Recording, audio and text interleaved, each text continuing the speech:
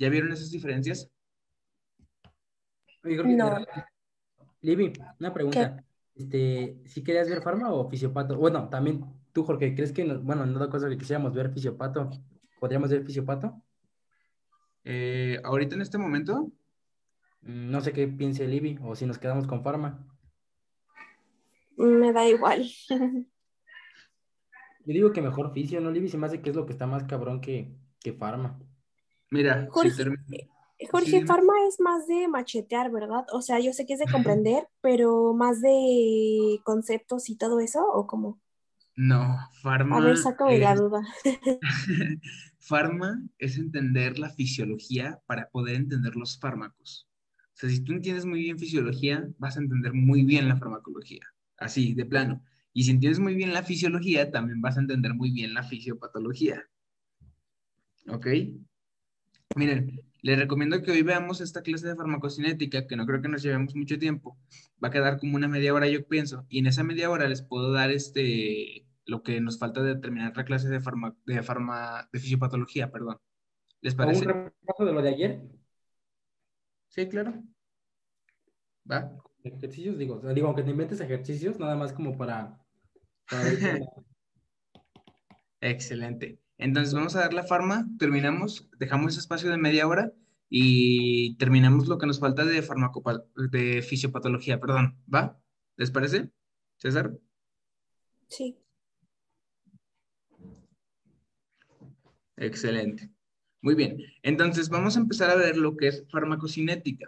Dentro de lo que es el mundo de la farmacología existen dos pilares súper fundamentales, lo que es la farmacocinética y lo que es la farmacodinamia.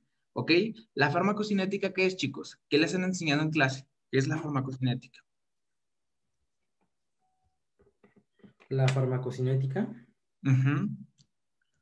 ¿Qué les han dicho en clase? ¿Qué es la farmacocinética? ¿Qué se imaginan? ¿Se acuerdan que en física, en la preparatoria, veían el término cinética, que significa movimiento? ¿Ok? ¿Qué se imaginan que es? ¿El movimiento de los fármacos? Eh, más o menos va por ahí, ¿ok? De forma simple, chicos, y lo que quiero que se aprendan es que farmacocinética es lo que el cuerpo le hace al fármaco, lo que el cuerpo le hace al fármaco. ¿Qué me supongo con esto? ¿Cómo es que lo absorbe? ¿Cómo es que lo distribuye? ¿Cómo es que lo une proteínas plasmáticas en sangre? ¿Cómo es que lo metaboliza? ¿Y cómo es que lo elimina? ¿Ok? Eso es bien, bien importante. Y ahora, ¿qué es la farmacodinamia? Bueno, la farmacodinamia como tal van a ser los mecanismos de acción de los fármacos que se van a producir dentro del cuerpo. Por ejemplo, la farmacodinamia del paracetamol, que es inhibir ciertas vías de las ciclooxigenasas que van a, que van a provocar que tenga un efecto antipirético, antiinflamatorio y demás que vamos a ver más adelante. ¿Ok?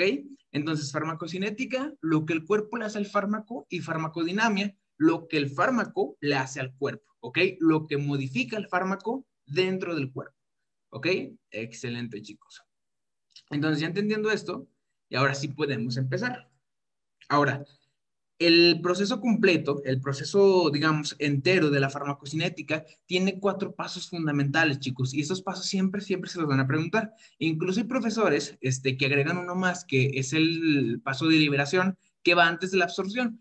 A mí en general, pues no me gusta incluirlo porque siento que es un paso, pues bien rudimentario y que en realidad no, no vale la pena ver, ¿ok? En estos cuatro pasos vamos a ver lo que es absorción, distribución, biotransformación, que biotransformación es lo mismo que metabolización y eliminación o aclaramiento, que es prácticamente lo mismo. ¿Ok? Ya se estarán imaginando. La absorción es el primer paso, la distribución es el segundo, la biotransformación o metabolismo del fármaco es el tercer paso. ¿Ok? Y eliminación es el cuarto, también denominado aclaramiento del fármaco. Excelente. ¿Sí, dime, César? Eh, bueno, más que nada quería dar como un dato. Eh, no sé si te fijaste, Libby, que en, la, en el cuestionario que nos puso la doctora de farmacología fue lo que acaba de decir Jorge. La absorción, ella la manejó como la metabolización. De hecho, esa fue una de las preguntas. Y sí, yo también dije, ¿qué pedo? Esa no creo que no la vimos. Pero bueno, ya dejando esto en claro, entonces básicamente el término absorción es metabolizar los medicamentos, ¿no? O sea, ya... No, no, no, no, no te confundas con eso. Absorción significa adentrar el fármaco a la circulación sanguínea. Y biotransformación significa metabolizar el fármaco, eso ahorita lo vamos a ver más adelante, ¿ok? Pero no, eso es muy diferente. La metabolización ¿Sí, dime? Entonces la absorción nada más es como la manera de cómo entra, ya sea si es intravenosa, oral, etcétera. Ya, ya sea si es por vía oral, por vía gastrointestinal, este, por vía colónica también, que es la vía intrarrectal, ¿ok? Que es intratecal, puede ser también tópica, ¿ok? Eso depende de cómo, cuál sea la vía de administración, ¿ok? Pero la absorción simplemente es como el fármaco, desde su introducción, sea la vía que sea, llega a circulación sanguínea, ¿ok? Esa es la absorción como tal. Y vamos a ver cada uno de estos pasos para que les quede más en claro, porque tienen que aprender todo esto. Si saben bien una farmacocinética, bien, bien, bien, bien, bien, van a saber, por ejemplo, qué fármacos se toman eh, más en la mañana, qué fármacos se toman mejor con alimentos, cuáles no, cuáles no sirven con alimentos, porque hagan de cuenta que el pH del estómago y en sí el pH del cuerpo humano, sea la vía que tomen, va a diferenciar muchísimo en el tipo de medicamento que vayan a utilizar. Por ejemplo, si uno utiliza un paracetamol, lo tienen que utilizar después de, después de que el paciente eh, eh, coma algo o sin que el paciente coma, o sea, que el paciente esté en ayuno. ¿Ok? Eso ahorita lo vamos a ver. Excelente. Dejen nada más pongo el cuadrito acá arriba para que no me distraiga. Excelente, chicos. Entonces, algo bien importante, empezando con lo que es absorción, es las membranas biológicas. Ahora, ¿dónde van a actuar los fármacos, chicos? Los fármacos van a actuar dentro de las células, chicos, incluso inhibiendo vías que van a producirse dentro de las células, ¿ok? Eso es muy importante. De hecho, los fármacos van a actuar en estructuras proteicas que se encuentran en las membranas celulares que se llaman receptores. Receptores. No sé si en bioquímica vieron algo que se llama unión ligando-receptor. Bueno, si no lo vieron, el complejo ligando-receptor es un complejo que está formado por dos componentes. El receptor, que el receptor es prácticamente aquel que detecta el ligando, y el ligando es la molécula que estimula o inhibe el receptor. ¿Ok? Bien claro eso. El ligando puede estimularlo, que significa activarlo, o puede inhibir el receptor, ¿ok? Como apagarlo, silenciarlo. Excelente. Muy bien. Ahora, dentro de lo que son las membranas biológicas, ustedes seguramente en biología molecular ya vieron que las membranas biológicas pues están compuestas de fosfolípidos que tienen una doble capa, que también es llamada una bicapa lipídica, que es una membrana selectiva porque no toda, no toda sustancia molecular puede entrar a través de esta, que tiene un, un componente hidrofóbico, un componente hidrofílico, que está compuesto por fosfolípidos, que prácticamente son ácidos grasos, este, y que tiene proteínas en su membrana. ¿Ok? Que estas proteínas pueden ser integrales, como esta que vemos aquí, o pueden ser periféricas, como esta que vemos de este lado. ¿Ok? Seguramente todo esto ya lo vieron. Entonces, ¿esto por qué es tan importante? Bueno, porque dentro de nuestro organismo, del cuerpo humano, vamos a tener distintas barreras biológicas que prácticamente van a tener estas células con estas membranas, ¿ok? Por ejemplo, la pared intestinal. ¿Cuántos fármacos no hay que, que tomamos vía oral? De hecho, la vía oral es una de las vías más accesibles y que más utilizamos en la vida cotidiana. Por ejemplo, cuando nos tomamos eh, cualquier tipo de fármaco vía oral, va a llegar a la pared intestinal dentro de lo que es el intestino, que en el intestino, especialmente en lo que es el duodeno, se absorbe casi el 90% de los fármacos vía oral, ¿ok? Vía oral. Excelente, chicos. Entonces, prácticamente tienen que pasar estas membranas biológicas para poder entrar. ¿ok? ¿Cómo se llaman las células, chicos? Esta es pregunta para ustedes. ¿Cómo se llaman las células que se encuentran a nivel de duodeno y que sirven para la absorción de nutrientes? Y de fármacos también, obviamente. La célula. La célula, ¿sí? ¿Alguien se acuerda cómo se llaman? Bueno, antes de, de, decir que no sabemos, digo, me gustaría dejar claro, entonces, ¿en el duodeno se absorbe el 90% de los fármacos? Claro, ya sea vía oral, ¿ok? Vía oral. Solo la vía oral. Acuérdate que la vía oral, pues prácticamente va a pasar el fármaco por, el, por la faringe, va a pasar al esófago, después va a pasar a lo que va a ser el estómago, y luego después del estómago va a llegar a lo que va a ser duodeno. Y justamente en el duodeno, que es el segmento proximal del intestino delgado, se va a absorber la mayoría de los fármacos, ¿ok? No en un 100%, sino el 90%, y la mayoría van a ser aquí, ¿ok? La mayoría aquí van a entrar a circulación. Ahora, hay algo bien importante y que deben de saber. ¿Se acuerdan qué arteria irriga el duodeno? ¿Qué arteria? pero no sé por qué voy a decir esta, ojalá sí sea. Creo que la, la mesentérica. Ok, ¿qué mesentérica? Más bien, más bien, César. Mm, nada más me acuerdo de eso, la verdad, eh, no me acuerdo exactamente bien cuál, pero yo me acuerdo que era esa. ¿Tú, este, Mariana, te acuerdas qué mesentérica? Mm, No. ¿Cuántas mesentéricas tenemos, chicos? Tres, cuatro, seis. Tres, ¿no? ¿Tú, Mariana, confirmas lo que dice César? ¿Tenemos tres mesentéricas? No, creo que son dos. Creo que son dos. Sí, según yo son dos. Excelente, chicos. Son dos. Nada más tenemos una arteria mesentérica superior y una arteria Inferior. mesentérica inferior. Exactamente, chicos. Ahí les va el tip de vida. La arteria mesentérica superior va a irrigar todo el intestino delgado, duodeno, yeyuno, ilion, y también va a irrigar partes del intestino grueso, solamente hasta la mitad del colon transverso. ¿Ok? Solo la mitad del colon transverso. La mitad distal del colon transverso hasta lo que es sigmoides, recto y llano lo va a irrigar la arteria mesentérica inferior, ¿ok? Incluso la arteria mesentérica superior da una rama muy importante que va al apéndice secal. ¿Que alguien se acuerda cómo se llama la arteria que irriga el apéndice secal? ¿O el apéndice persiforme? ¿Cómo se llama esa arteria? Arteria Mm. ¿Es umbilical? No, no se llama umbilical. No. ¿No, chicos? Se llama arteria apendicular. Apendicular. Entonces, esta- perdón, perdón, la, la- eh, la arteria mesentérica inferior irrigaba la parte del colon transverso. Ajá, distal, distal, ¿ok? Del Ajá. colon transverso distal hacia lo, hacia lo que es este ano, o sea, que pasa sigmoides, recto y ano, todo eso es mesentérica inferior. Y todo lo que está atrás de la mitad del colon transverso hacia atrás, todo, todo, todo, todo, todo, intestino delgado, este, incluso válvula ileocecal lo irriga lo que es la mesentérica superior. ¿Ok? El ciego también es de la mesentérica superior, la apéndice secal es la mesentérica superior. ¿Ok? ¿Les queda claro eso, chicos? Sí, otra, la célula que nos ibas a decir del duodeno que absorbía, ¿cuál era? Este es el enterocito, ¿ok? El enterocito. Acuérdense que los, eh, los enterocitos prácticamente inician desde la mucosa duodenal y estos son súper importantes porque son células cilíndricas, ciliadas, ¿ok? Que tienen en su estructura apical unas microvillosidades, microvellosidades. Que acuérdense que la función más importante de las microvellosidades es la absorción, chicos, ¿ok? La absorción. Estos prácticamente son como si tuviera digamos, como pliegues en su superficie apical que le permite jalar nutrientes, ¿ok?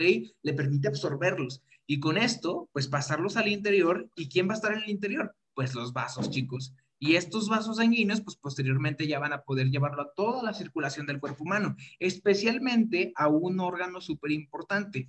Acuérdense, chicos, ¿quién drena las mesentéricas superiores? ¿Qué venas? Las mesentéricas superiores.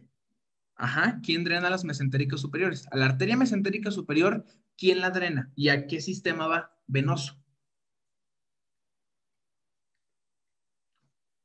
Cabrón. ¿Te acuerdas, Mariana? No se preocupen, chicos, en serio no pasa nada. O sea, yo entiendo que apenas van en tercer semestre, no se preocupen, chicos. El hecho de que se pongan a, durar, a dudar ya ahorita, de que se pongan a preguntarse todo esto, estas cosas que nadie de su salón está viendo, no manches, ustedes van a llegar a cuarto y van a llegar siendo una bomba si aprenden todo esto, ¿ok? Créanmelo. Así que tranquilos, no se preocupen, equivóquense, este, en serio, no pasa nada, no se preocupen por mí. ¿Qué venas entonces y qué sistema drena toda esta circulación, chicos? ¿Se acuerdan? No. No. Excelente, chicos, no pasa nada. Las venas que van a drenar se llaman venas gastro- gastrointestinales. Y todas estas venas, chicos, que van a venir de los plexos que se encuentran en todo el intestino, van a confluir en una sola vena, chicos, ¿ok? Que esta vena es una vena grandísima que está formada por dos colaterales, chicos, ¿ok? La primera es, déjenme pongo, ¿ok? La primera es la vena mesentérica superior y la segunda es la vena esplénica. Esplénica, que la vena esplénica viene del vaso y van a formar este megavaso, ¿ok? Que va a ir hacia lo que va a ser el hígado, que esto lo conocemos como el sistema venoso porta, ¿ok? El sistema venoso porta. Ahora, ¿por qué se van a estar preguntando, ¿por qué no está hablando de irrigaciones y de vasos y de venas? Bueno, porque todos los fármacos, chicos, que se absorban a través del intestino, ¿a dónde creen que van a ir? Pues van a ir al hígado, chicos, al sistema porta. Y a este sistema, a este paso, lo conocemos como primer paso de los fármacos, primer paso de los fármacos, ¿ok? O sistema de primer paso de fármacos, que es cuando sufren una primera metabolización. Esto ahorita lo vamos a ver, chicos, no se me presionen, tranquilos, pero este, prácticamente es esto, ¿ok? Entonces ya saben, todas las venas del sistema gastrointestinal van a drenar a final de cuentas al sistema porta, ¿ok? Y este sistema porta va a ir a drenar al hígado, ¿ok? Dentro de lo que es el hígado, imagínense que es el hígado, dentro de lo que es el hígado, este, por encima van a salir otras tres venas. Por encima salen tres venas que se llaman venas suprahepáticas, chicos. Y estas venas suprahepáticas ahora sí van a conectar a la vena más grande del cuerpo humano, que prácticamente es la vena cava inferior. ¿ok? Difiere un poco de tamaño entre la vena cava inferior y la vena cava superior, pero en este caso las venas suprahepáticas van a ir a la vena cava inferior. ¿Y a dónde va a drenar la vena cava inferior, chicos? Ah, pues es que la vena cava inferior y riega un chingo de lados, ¿no? Sí, drena, drena. Acuérdate que las venas drenan. ¿A dónde va a ir a drenar? A final de cuentas, la vena cava inferior. ¿Dónde va a terminar su última instancia? ¿Dónde va a dejar la sangre? Mm.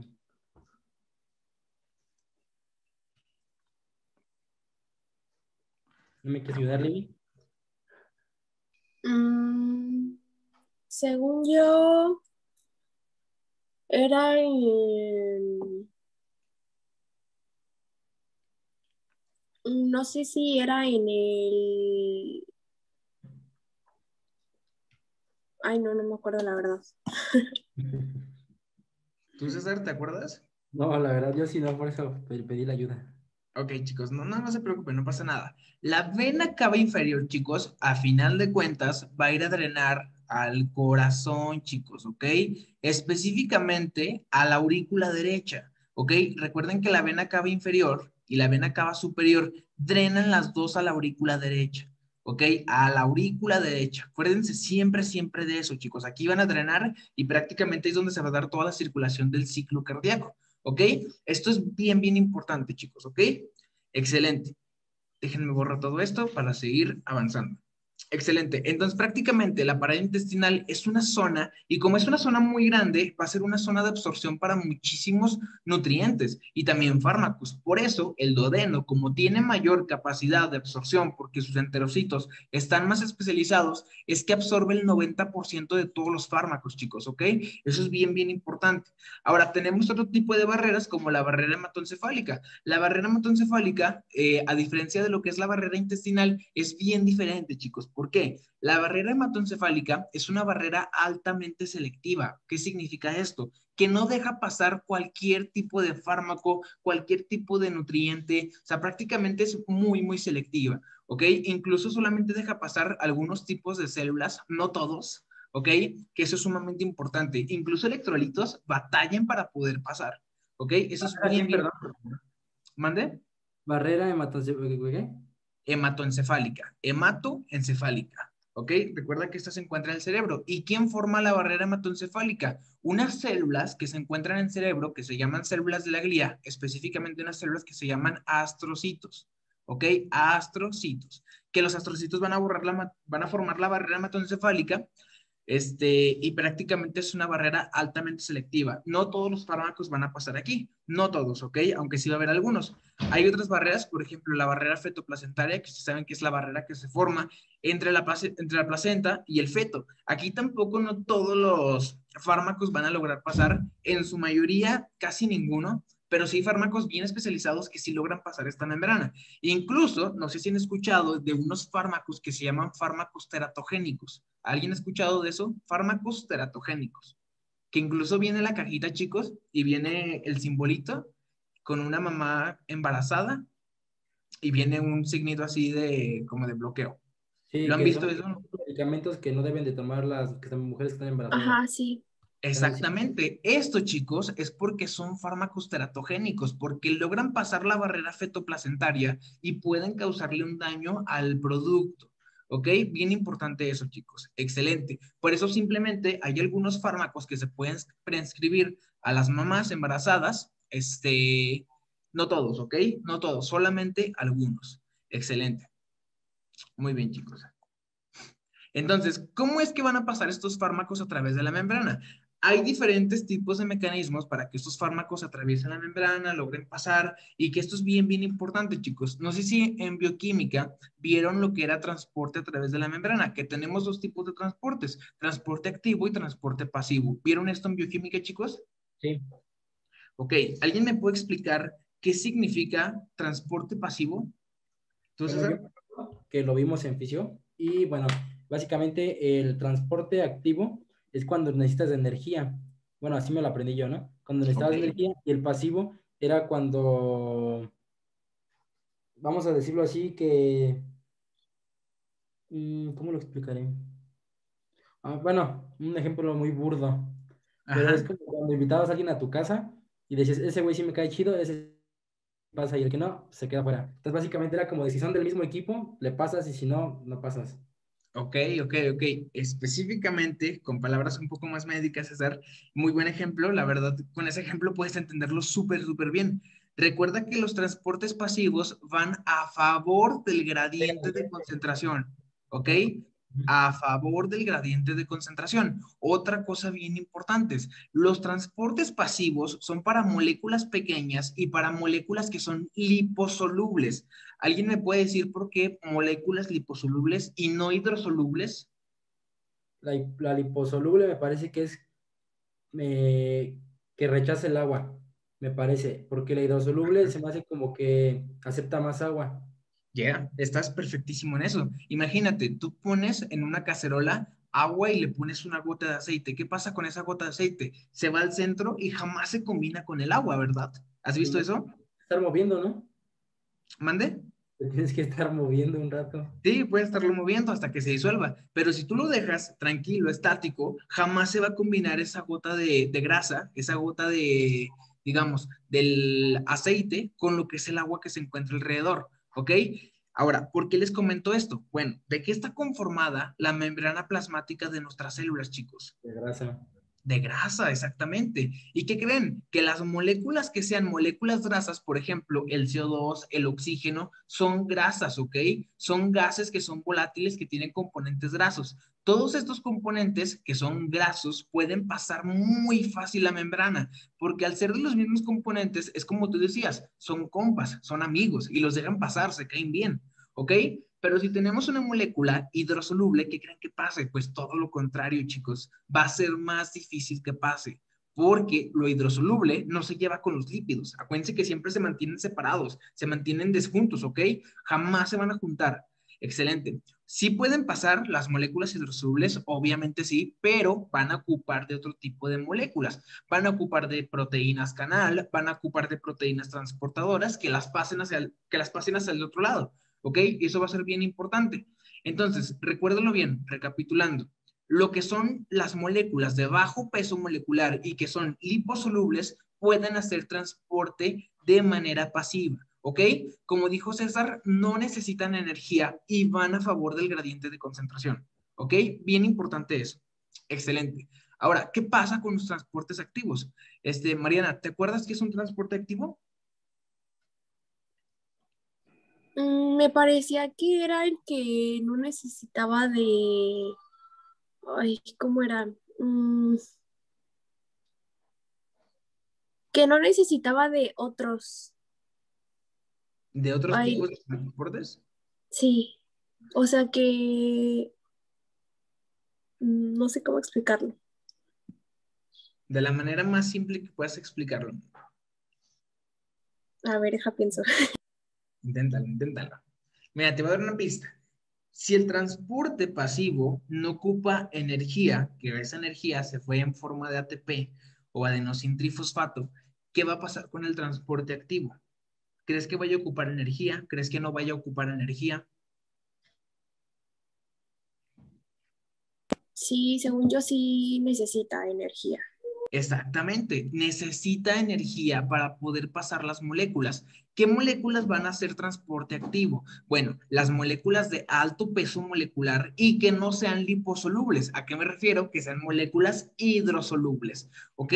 Esto es bien, bien importante, chicos, porque los transportes activos sí van a ocupar proteínas integrales, sí van a ocupar proteínas periféricas, incluso van a ocupar proteínas tipo canal. ¿ok? Que eso va a ser bien, bien importante, chicos, demasiado importante. Van a ocupar ATP y otra cosa bien importante, los transportes activos van a ir en contra del gradiente de concentración, o sea, no van a respetar esta concentración de solutos y solventes dentro de lo que va a ser los espacios este, de líquido intracelular y de líquido extracelular, ¿ok? Entonces va en contra del gradiente de concentración. Excelente. De hecho, el transporte activo, chicos, lo podemos dividir en dos. En primario, y en secundario. Aquí pongan mucha atención. El primario, chicos, es el que se crea de primera intención. Por ejemplo, digámoslo así, una bomba sodio-potasio que está recambiando el sodio y el potasio alternamente en la membrana. ¿Qué está pasando ahí? Pues está ocupando ATP, pero esa membrana, esa, perdón, ese transporte está generando además más energía por la energía cinética que está pasando por ahí, por el ATP que se está utilizando, ¿ok? Entonces, toda esa energía restante que sale del transporte primario puede ser utilizado por otros transportes activos. Y aquí es donde entran los transportes activos secundarios. Los transportes activos secundarios son todos aquellos que puedan utilizar la energía de los transportes activos primarios restantes. ¿Ok? Entonces, primarios tienen energía nativa o que crean ellos mismos, ¿ok? Y los secundarios son aquellos que utilizan la energía de los primarios para beneficiarse a ellos. ¿Ok? Y el ejemplo más característico, una bomba sodio-potasio como transporte primario y en el transporte secundario, una bomba sodio-calcio que puede utilizar energía de la bomba sodio-potasio del primario, ¿ok? Prácticamente se ancla de la misma. Excelente, chicos. Vividores, los secundarios. ¿Mande? Básicamente son vividores. Ándale, exactamente, son vividores, utilizan la energía de la, de la primaria. Excelente. Muy bien, chicos. Dejen borrar todo esto y excelente. Que nunca se les olvide esas dos diferencias. Ahora, como ejemplos de lo que es, aguanten, antes de seguir avanzando, ¿por qué le estoy hablando de transporte a través de la membrana? Bueno, porque va a haber fármacos, chicos, que van a ocupar un transporte simple o pasivo, o va a haber fármacos que ocupen un transporte activo. ¿Esto de qué va a depender? Del tamaño molecular del fármaco, de la composición química del fármaco, de la formulación del fármaco, incluso hasta del pH del fármaco, ¿ok? Que ahorita vamos a ver todo eso. Excelente, chicos. Muy, muy bien. Ahora, una manera de verlo como más o menos como un poco más este, simple, ¿cómo sería? Porque con la doctora aún no nos hemos adentrado, por ejemplo, hace poquito yo expuse biodisponibilidad y bioequivalencia, y ya ves que, tú estás hablando, o sea, del pH, del tipo de fármaco, la sustancia, si es de duración corta o duración prolongada. Entonces, por ejemplo, la doctora lo, lo, vio como muy, muy general, muy, de manera muy general. Es que bueno, la doctora nos da clase, empezando por ahí, la doctora no nos da clase, la clase la damos nosotros. Entonces, por ejemplo, no, no, no se ha metido como tanto. Y de hecho, en la fórmula, ya ves que biodisponibilidad lleva fórmulas para saber cuánto tiempo lleva el fármaco en el sistema. Ni siquiera vimos la fórmula. Nada más nos quedamos como con los conceptos y la manera de qué es el fármaco y el, más o menos la, la curva de la concentración plasmática, ahora que me acuerdo. Ok, ok. En eso que me comentas de biodisponibilidad, en sí las fórmulas no las vas a utilizar tanto en clínica. O sea, jamás vas a ver cómo, cuánto tiene el paciente de vida media del fármaco de paracetamol que se le infiltró hace dos horas. O sea, jamás vas a hacer eso, jamás. Pero sí es importante que sepas la biodisponibilidad de un fármaco. ¿Por qué? ¿Qué es la biodisponibilidad? Es la cantidad de fármaco que llega a final de cuentas a la sangre y que puede ser utilizada para hacer su mecanismo de acción. Eso es sumamente importante, sí, demasiado. Saberlo, muy importante. ¿Por qué? Va a haber fármacos que vamos a necesitar una biodisponibilidad mayor, incluso el tipo de vía puede alterar esto. ¿ok? Va a haber fármacos que vamos a ocupar una biodisponibilidad mayor y va a haber fármacos que concentraciones mínimas, o sea, muy, muy pequeñas, va a tener un mecanismo de acción muy fuerte, ¿ok? Eso es importante. Ya después lo veremos, lo iremos viendo y que de hecho ahorita vamos a ver algo, pero muy sencillo, pero ya iremos viéndolo en el, en el transcurso de las clases, ¿ok? bien importante. Ahora, lo que les quiero comentar yo aquí es que depende del tipo de transporte, el tipo de mecanismo por el cual van a pasar los fármacos dentro de la membrana, ¿ok? Recuerden que los fármacos, ¿dónde quieren actuar? Obviamente hay algunos que actúan extracelularmente y algunos que actúan intracelularmente. Eso depende del tipo de mecanismo de acción del fármaco. pero los que se van a meter de, lleno a lo que es la célula ocupan este tipo de transportes, chicos, ¿ok? Cuando son de transporte pasivo, vamos a ocupar estos dos transportes bien importantes, que es la difusión simple y la ósmosis. Ya ayer veíamos un poco de ósmosis y sabemos que ósmosis es el paso o difusión de la, del agua a través de la membrana. ¿ok? Y la difusión simple, bien, bien importante, es cuando un fármaco de bajo peso molecular y liposoluble puede perforar los poros que dejan los fosfolípidos de manera muy fácil porque tiene una estructura química que le favorece. ¿ok? Para poder pasar. Pero si se fijan, jamás ocupó un transportador, jamás ocupó una proteína, jamás ocupó de nadie, ¿ok? Simplemente pasó solito, como Pedro por su caso. Excelente, chicos. Ahora, los transportes activos van a ser todo lo contrario. Estos van a ser moléculas de alto peso molecular que quieren pasar la membrana y que básicamente su estructura molecular no le favorece, ¿ok? Básicamente. Ahora, fíjense, tenemos varios tipos de transporte. Tenemos difusión facilitada. No se confundan con difusión simple. La difusión simple no utiliza canales, no utiliza prácticamente nada más que simplemente los poros que dejan los fosfolípidos, ¿ok?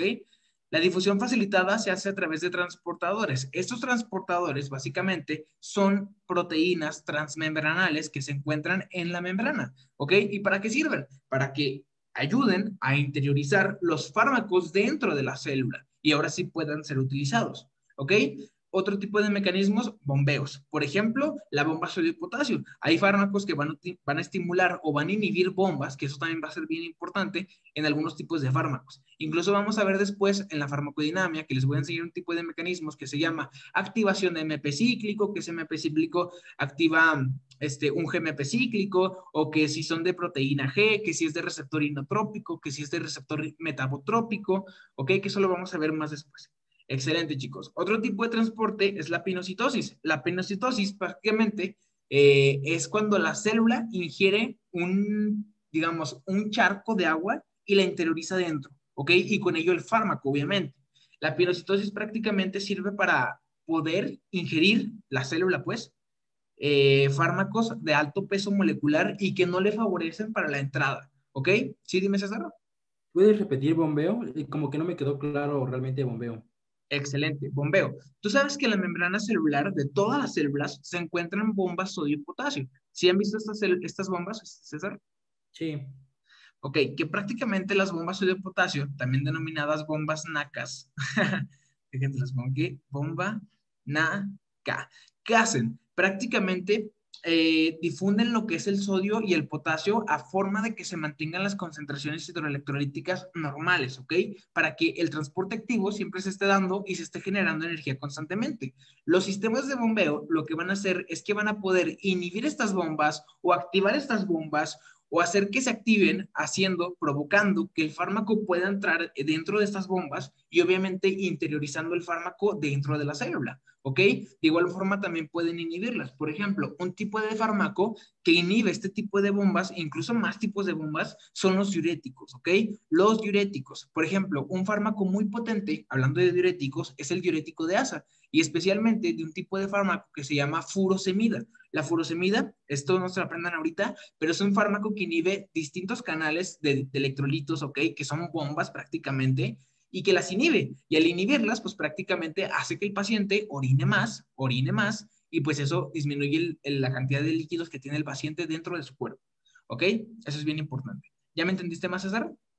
Sí, básicamente pues son los bombeos. Exactamente, son los bombeos.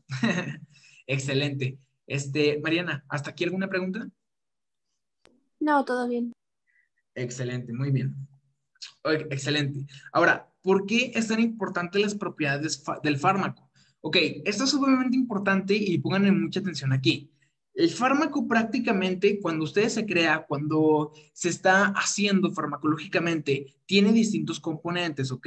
Esto depende, por ejemplo, si lo van a hacer un fármaco ácido, si lo van a hacer un fármaco base. ¿Esto por qué creen que es importante? Bueno, ustedes saben que durante todo el trayecto del cuerpo humano, todas sus mucosas, todas sus este, superficies tienen un pH, ¿ok?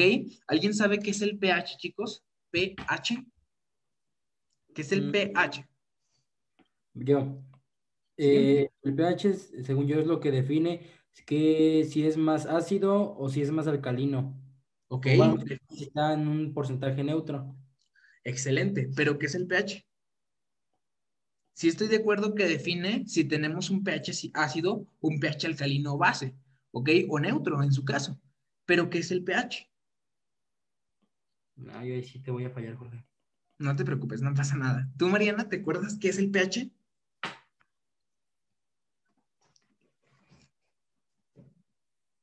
No.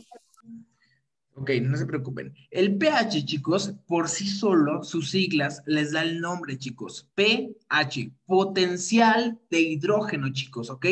En el cuerpo humano hay distintos tipos de elementos que son súper importantes, que los llamamos elementos primarios. No sé si se acuerdan de sus clases de química, que esos los llamamos como chomps, ¿ok?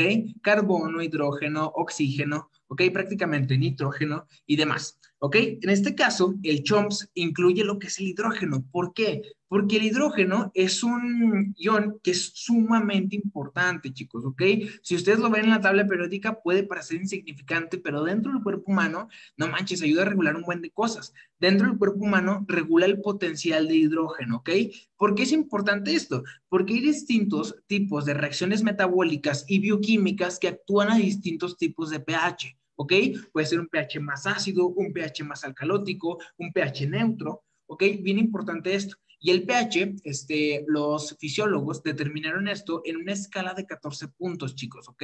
14 puntos, donde 7 es el pH neutro. Díganme una molécula que tenga pH neutro, chicos. La única molécula en el mundo que tiene pH neutro.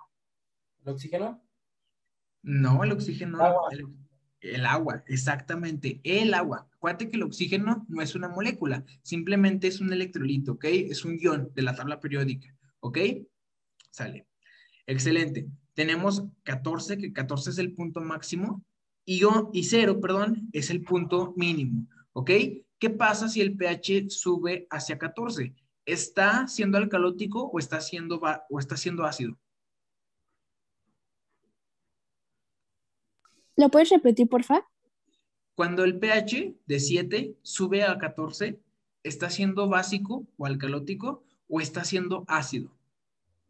Ácido. Según yo, ácido. No, chicos, al revés. Cuando va de 7 a 14, se está haciendo básico, ¿ok? Básico o alcalino. Ajá, exactamente. Alcalino, ¿ok? Cuando disminuye, ¿ok? Cuando va hacia los ceros, ese está siendo ácido, chicos, ¿ok? Ácido. Esto es sumamente importante, chicos. Por ejemplo, hay órganos que trabajan mejor a pHs ácidos y hay órganos que trabajan mejor a pHs básicos. Por ejemplo, ¿quién trabaja mejor a pHs básicos? El intestino, ¿ok? El intestino trabaja mejor a pHs básicos. ¿Quién trabaja mejor a pHs ácidos? El estómago, chicos, ¿ok? ¿Cuánto es el pH normal del estómago, chicos? Queda menos de un minuto. ¿Cuánto, César? Perdón, no te escuché.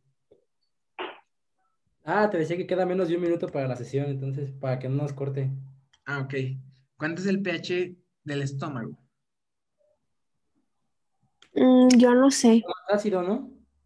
¿Es muy ácido? ¿Cuánto es? Debe de ser entonces el 14. No, no. Debe de ser entonces el 7. Es muy, muy ácido tiene que estar muy abajo, ¿ok? Casi por este lado. El pH del estómago, chicos, va de 1.5 aproximadamente hasta 3, chicos, ¿ok? O sea, si se fijan, es un pH sumamente ácido, completamente. ¿Ok?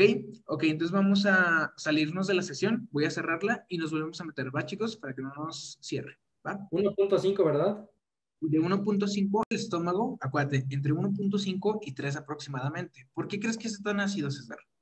Pues porque tiene que degradar las cosas, ¿no? Tiene que deshacer todo lo que iba a llegar al estómago, básicamente. ¿Te acuerdas que se liberaba en el estómago? ¿Qué molécula? ¿Qué molécula? Mm. Ácido. ¿Qué más? Ah, es ácido clorhídrico. Ácido clorhídrico, ¿ok? Ese ácido clorhídrico es muy, muy ácido, ¿ok? Entonces, básicamente le permite trabajar a, este, a esos pHs tan bajos.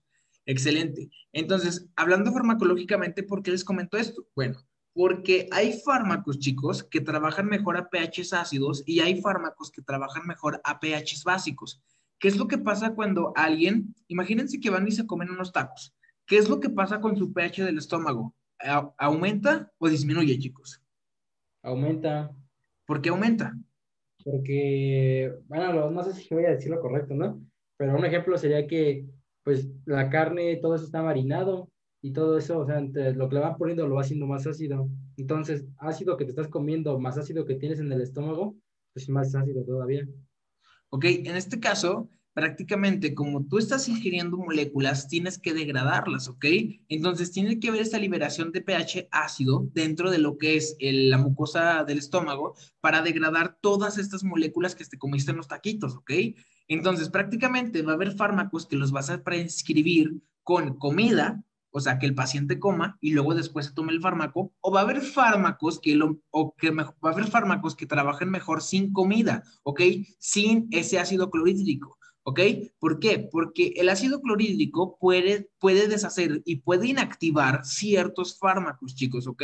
Por lo tanto, va a haber fármacos que se van a tomar en ayuno, ¿ok? Sin presencia de ácido clorhídrico.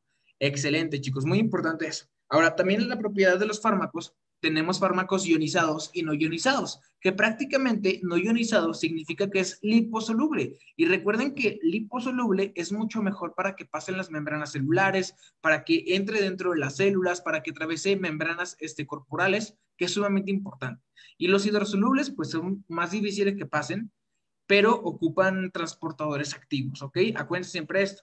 El peso molecular también como dato farmacológico es algo bien, bien importante, chicos, porque prácticamente entre menor peso molecular, mejor va a atravesar las membranas, ¿ok? Y entre mayor peso molecular, peor va a atravesar la membrana, ¿ok? Eso es sumamente importante. Excelente, chicos. ¿De aquí tienen alguna duda? Mm, no. Excelente, chicos. Dejen nada más, cierro el cuadrito. para que no me estorbe. Y excelente, seguimos. Excelente, chicos. Vamos a empezar con el primer paso, que es la absorción. La absorción, chicos, siempre apréndansela de modo en que ustedes la entiendan, ¿ok?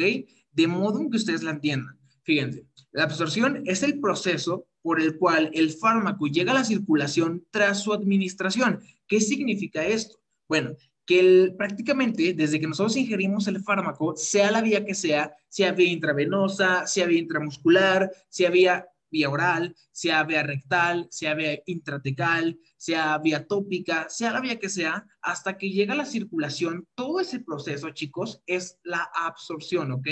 Es la absorción. Una vez que se encuentra en vasos sanguíneos, en circulación, se va a llamar distribución del proceso. Eso ahorita lo vamos a ver. Lo que quiero que sepan ahorita es que la absorción es tras su, tras su administración hasta que llega a la circulación completamente. ¿Ok?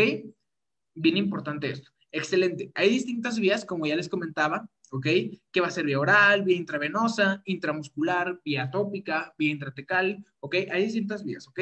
Algo bien importante, la vía, crean, creen que depende de la farmacocinética o la farmacodinámica que va a tener un fármaco efectivamente. ¿Por qué? Bueno, porque depende del tipo de vía, va a ser el tipo de membranas que tenga que atravesar. Por ejemplo, la vía oral es un tipo de vía que tiene muchísimas membranas que atravesar, ¿ok, chicos? Fíjense, la membrana intestinal, la membrana gástrica, hasta llegar a los vasos mesentéricos, ¿ok? La vía intramuscular, pues simplemente nada más tiene que atravesar la membrana muscular, la fascia del músculo, y llegar a lo que es el vaso, ¿ok? Pero fíjense, la vía intravascular o intravenosa, sea la que sea, prácticamente, llega directamente a lo que es la sangre. O sea, prácticamente no tiene proceso de absorción porque llega directamente, ¿ok? ¿Se entiende esas diferencias, chicos? Sí. Sí. Excelente, chicos. Muy bien. Dejen borrar todo esto. Y excelente, chicos. Ok, por ejemplo, la vía sublingual es un tipo de vía también muy, muy rápida, demasiado rápida. Es donde utilizamos este, el, piso del, el piso de la lengua para poder administrar el fármaco. En este caso, el fármaco se disuelve dentro de lo que es el pH de, de toda la cavidad oral y llega a lo que son las venas submentonianas. Esas venas submentonianas, recuerden que drenan a las venas cava, a las venas yugulares internas, perdón, y de aquí llegan al tronco ciliaco, perdón, al tronco este, brachiocefálico y luego llega a la vena cava superior y llega al corazón. Y eso hace que próximamente pues esté, esté circulando, pero de una manera muy, muy rápida, ¿ok? Hay distintos tipos de vías, esto lo vamos a ver más adelante, no se preocupen. Lo único que quiero que aprendan ahorita son todos los procesos para que el fármaco llegue y, llegue y haga su mecanismo de acción. Excelente, chicos. Hay factores que alteran toda esta absorción. Por ejemplo, la solubilidad del fármaco. ¿Esto por qué? Bueno, porque va a haber fármacos que van a tender a disolverse de mejor manera entre los líquidos, ¿ok? Bien importante esto. La formulación del fármaco también, ¿por qué? Depende si es un fármaco con un pH diferente, si tiene alguna estructura farmacológica química que lo altere, ¿ok? Su concentración también. A mayor concentración, chicos, del fármaco, mayor disponibilidad que va a llevar, que va a llegar, perdón, a la circulación, ¿ok? Entre mayor concentración, mayor fármaco puede que llegue a la circulación. Bien importante esto, ¿ok? La circulación de sitios de absorción, también bien importante. ¿Por qué creen que es importante el sitio de absorción? Bueno, en este caso, el sitio de absorción va a ser importante porque entre mayor circulación tenga, hay más arterias, hay más venas, prácticamente hay más circulación. ¿Y esto qué va a hacer o qué va a provocar? Que como el fármaco tiene más lugares a donde llegar porque tiene más vasos, porque tiene más venas, pues prácticamente tiene más lugares a donde llegar. ¿Ok? Y por lo tanto, este, tener sitios donde haya mayor irrigación, pues va a haber mayor absorción. ¿Ok? Por ejemplo, sitios que tienen muchísima irrigación, las manos, las, las plantas de los pies, la cara, ¿ok? Bien importante eso. Excelente. También el área de superficie absorbente también es muy importante. Por eso el intestino, hablando específicamente de lo que es el duodeno, es muy importante para lo que es la absorción, porque prácticamente como es una estructura muy grande, este, que si tú la extiendes es mucho, digamos, es mucha superficie, pues prácticamente va a poder absorber más, ¿ok? Entonces, a mayor superficie, mayor absorción. También el tamaño de la molécula del fármaco es lo mismo que les decía del peso molecular. Si el fármaco tiene un peso molecular más pequeño, es más probable que pase las membranas, ¿ok? Bien importante eso. Excelente. Entonces, prácticamente bien, bien importante. Por ejemplo, conforme a su formulación, estas células que ven por aquí, chicos, se llaman enterocitos. Son los que les comentaba hace rato. Fíjense cómo tienen en su superficie apical unas, unos pelitos que se llaman vellosidades, que estas vellosidades prácticamente les sirven para poder absorber, ¿ok? Respecto a la formulación, fíjense, según el pH que tengan, va a ser el tipo de, absorción que van a poder manejar. Por ejemplo, si tienen pH ácido, tienen mejor absorción, ¿ok? Mucho mejor. ¿Por qué si son ácidos tienen mejor absorción? Bueno, porque la mucosa intestinal, la mucosa gástrica y prácticamente todo el tracto gastrointestinal maneja pHs ácidos, ¿ok? Siempre la mayoría son pHs ácidos. Obviamente hay pequeñas diferencias entre estos, pero la mayoría son ácidos, ¿ok? Entonces, si tú le das un fármaco ácido, pues prácticamente puede pasar mucho mejor las membranas, ¿ok? Excelente. A diferencia de un pH básico, que va a ser diferente su pH, y va a tener una menor absorción. Excelente. También otro factor que interviene es la motilidad gástrica, porque entre mayor sea la motilidad, menor va a ser la capacidad del intestino para absorber. ¿Ok? Bien importante esto. La motilidad gástrica en fisiología la conocemos como peristalsis, ¿ok? Recuerden que la peristalsis es cuando el intestino se está contrayendo para poder hacer que todo el quimo se absorba de manera correcta y que pase por todos los segmentos, ¿ok? Por el duodeno, por el, por el yeyuno y por el ilion, ¿ok? Incluso llegue a válvula ileocecal, llegue al ciego, pase por todo lo que es el colon, se absorba agua y electrolitos y pues prácticamente se logra absorber toda la mayoría de cantidades de nutrientes que consumimos, ¿ok? Excelente, chicos. Déjenme borrar nada más todo esto. Y continuamos. Excelente. Ahora, hablando de lo que es su distribución. Hablando de lo que es su distribución, esto va a ser bien, bien importante, chicos, ¿ok? Demasiado. Y esto va a ser algo que siempre les van a preguntar, chicos. Bien. Bueno, prácticamente la distribución es la repartición del fármaco, o sea, una vez que el fármaco ya está dentro de la circulación, recuerden que la, absorción o la parte final de la absorción era que el fármaco llegara a la circulación, ¿ok? En la distribución va a ser la repartición del fármaco a los tejidos tras haber llegado a la circulación, ¿ok? O sea, una vez que estaba en circulación, ahora tiene que ir a tejidos a depositarse. Eso depende del, digamos, de la, del, seguimiento que tenga el fármaco. Si el fármaco va a actuar en algún lado, pues va a ir hacia ese lado. Si el fármaco va a actuar en tal lado, pues va a ir hacia, hacia tal lado. ¿Ok? Eso depende del fármaco. ¿Ok? Eso es bien, bien importante. Ahora, esta, digamos, esta distribución depende muchísimo de la biodisponibilidad. César, tú que exponiste biodisponibilidad, ¿qué significa esto? Ya no me acordaba bien, ¿eh? pero eh, la biodisponibilidad me parece que era lo que mm, lo que era mm,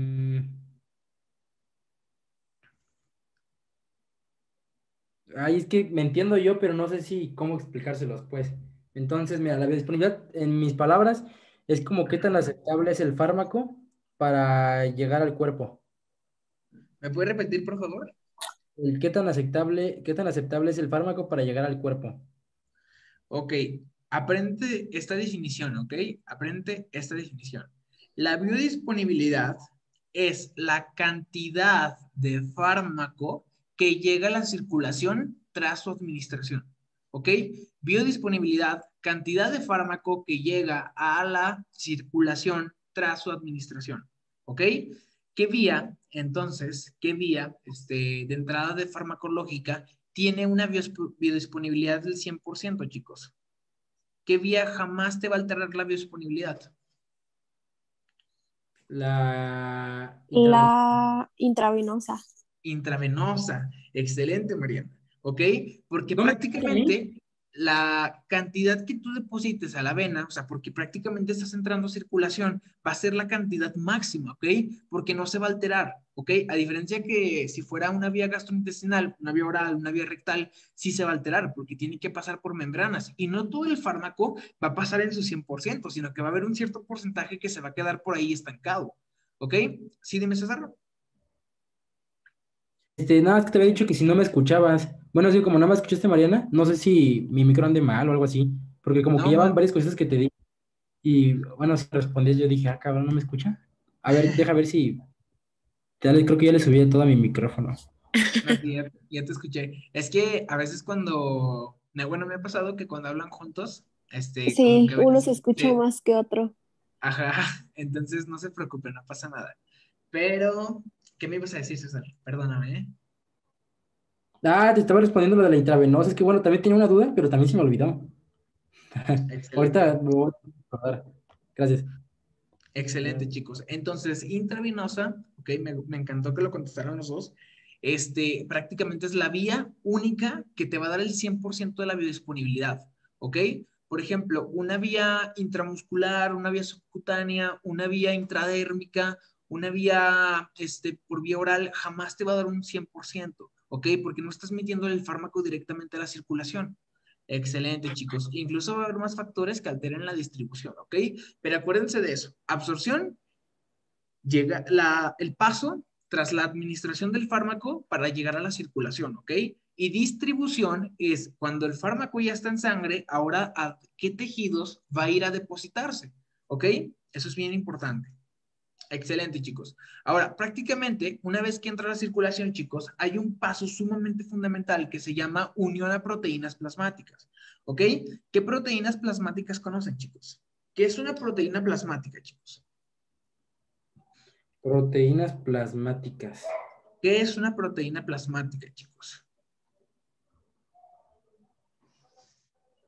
Ay, yo me acuerdo que leí en el libro que decía algo que era pues son todas aquellas que se encuentran en el plasma en la sangre, pero como tal, una proteína que yo te pueda decir, la verdad no, no sé. Ok, excelente. Una proteína plasmática es toda aquella que se encuentra en el plasma sanguíneo. Esa definición está perfecta. Pero dime un ejemplo de proteína plasmática. Un ejemplo, la, la ¿qué se dice? Albúmina. La albúmina. La albúmina es la proteína plasmática más abundante en su cuerpo. ¿Ok, chicos? La albúmina es la proteína plasmática más abundante. Excelente. Otra proteína plasmática que te acuerdes, prácticamente todas las que están en sangre. Es que no sé cuáles están en sangre, la verdad. Ok, no te preocupes. Todavía no me llevo a pero me acuerdo que decía que la albúmina era la más, como la principal.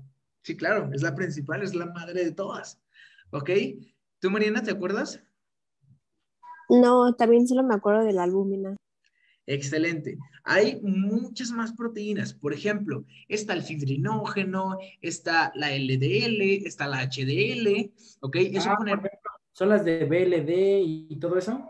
Exactamente, las lipoproteínas de baja densidad, las lipoproteínas de alta densidad, las de muy baja densidad, ¿ok? Todas esas proteínas que van en sangre son proteínas plasmáticas. El fibrinógeno también es una proteína plasmática, ¿ok? Bien importante, la plasmina también es una proteína plasmática, ¿ok? ¿Y la ferritina? La ferritina también es una proteína plasmática, ¿ok? Bien importante eso, la ferritina también es una proteína eh, plasmática. Cada una tiene distintas funciones. Por ejemplo, la ferritina se encarga del transporte del fierro, ¿ok? La albúmina puede unirse a fármacos, puede unirse a un buen de cosas. Otras proteínas plasmáticas, por ejemplo, hay unas proteínas bien importantes que se llaman inmunoglobulinas, que prácticamente son anticuerpos, ¿ok? Que ya se los expliqué ayer. Hay otras proteínas plasmáticas, como por ejemplo la superfamilia de inmunoglobulinas, como por ejemplo las proteínas de adhesión endotelial, las proteínas selectinas, las proteínas integrinas, otros tipos de proteínas mmm, que también sean parte de las proteínas plasmáticas. Por ejemplo, todas las proteínas del complemento, el sistema del complemento ya después lo verán en inmunología, son parte de proteínas plasmáticas porque se encuentran dentro del plasma. ¿Ok? Aquí la proteína más importante es la albúmina, ¿ok? Incluso la albúmina forma el 60% de todas las proteínas plasmáticas. Bien, bien importante esto, chicos, ¿ok? La albúmina. Por favor. ¿Mande? Dímelo. Repetir eso, lo de la albumina. Albumina forma el 60% de qué, perdón? O sea que la concentración de albúmina en sangre, en plasma, es del 60%. ¿Ok? El 40% restante lo forman las proteínas de alta densidad y todas las proteínas que ya más dijimos plasmáticas, ¿ok? Pero la más abundante es la albúmina, ¿ok? Por eso es tan importante. Ahora, ¿quién produce la albúmina, chicos? ¿Qué órgano produce la albúmina? Ahí estoy entre dos, pero pues ya no sé si la voy a regar o no. Es, Ah, no, estoy, entre, estoy entre los riñones y el vaso. Entre los riñones y el vaso, ¿ok? Mariana, el hígado. ¿tú qué ¿El opinas, hígado? Mariana? El hígado. Ok, en este caso, chicos, Mariana tiene razón. El hígado produce la albúmina, ¿ok? Claro. El hígado produce la albúmina. Ahí les va un dato. El 99% de todas las proteínas plasmáticas las va a producir el hígado, ¿ok? Eso es sumamente importante y que nunca se les olvide, chicos, ¿ok?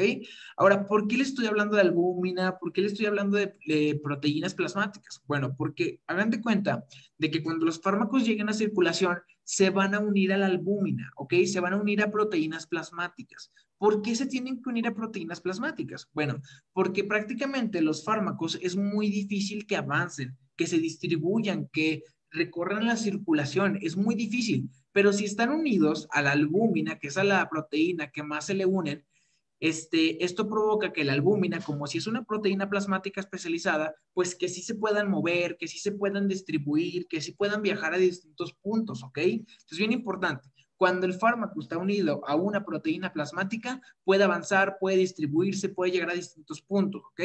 Ahora, ahí viene algo sumamente importante. Cuando están unidos, prácticamente está inactivado el fármaco. El fármaco se tiene que inactivar. Y cuando está libre, o sea, libre de la albúmina, cuando están separados esa proteína y ese fármaco, se encuentra activo. ¿Ok? Eso es bien importante. Por ejemplo, chicos, ¿han escuchado algo en sus clases de farma que se llama semivida o vida media farmacológica? Eh, yo. Sí, pero no sé bien a qué se refiere la verdad. ¿Ok? Entonces, Oye, ¿te acuerdas? ¿Sí me escuchas o, o no me escuchas cuando estoy hablando, por ejemplo? No, bueno, sí, ahorita ya me acerqué más, pero por ejemplo, a esta distancia, ¿me escuchas? Aquí. Sí, claro. Sí, te escucho. Ok. Mira, según yo, la vida media del fármaco es como cuando empieza a disminuir un poco el, el efecto, según yo. O sea, que sigue estando en la, en la sangre, pero ya no es como tan efectivo. Ok, vida media o semivida farmacológica es cuando el fármaco llega a su porcentaje del 50%, ¿ok? Cuando su concentración del fármaco ya no es del 100%, sino que ahora es del 50%, ¿ok? Esto tras su absorción y su distribución. Bien importante esto, chicos. ¿Por qué les comento esto? Bueno, va a haber fármacos, incluso todos los fármacos difieren de su semivida, ¿ok?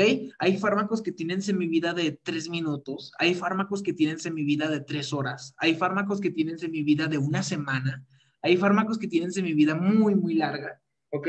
Pero ¿por qué les comento esto? Bueno, porque prácticamente algo que modifica mucho la semivida del fármaco es si están unidas a proteínas plasmáticas. Cuando están unidas a proteínas plasmáticas es más difícil que el fármaco se deseche, ¿ok? Que pase por riñón, se filtre y se secrete, ¿ok? Que prácticamente se elimine. Pero cuando está suelto de la albúmina, cuando están separados, cuando el fármaco está libre, es más probable que este se vaya, se elimine por orina, ¿ok? Mucho más probable. ¿Qué es lo que pasa con esto? Un fármaco que tiene una semivida muy largo nos dice que se une muy bien a la albúmina. Incluso cuando vean, de ejemplo, que digan, pues hoy quiero leer paracetamol. Cuando lean paracetamol van a, van a ver que va a decir, la unión a proteínas plasmáticas es del 99%, o la unión a proteínas plasmáticas es del 60%, o la unión a proteínas plasmáticas es del 80%. Esto va a ser importante, sí, porque según el tipo de unión, el porcentaje de unión que tenga el fármaco a la proteína va a diferenciar de su vida media. ¿Ok? ¿Qué significa esto? Que si un fármaco tiene una vida, una vida media más prolongada, más larga, va a ser, eh, digamos, indicativo de que le van a tener que decir a sus pacientes por cuánto tiempo se va a tomar el fármaco, a cuántas dosis, este, por cuánto tiempo, ¿ok? Bien importante eso. Sí, dime César.